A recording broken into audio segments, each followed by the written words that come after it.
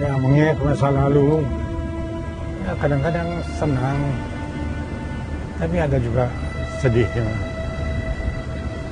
Ada pula orang yang berkata katanya, orang mengingat masa lalu selalu diperindah. Ya, saya akan menceritakan apa adanya.